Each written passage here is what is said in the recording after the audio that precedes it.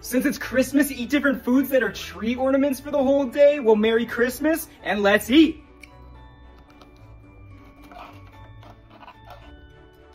Oh.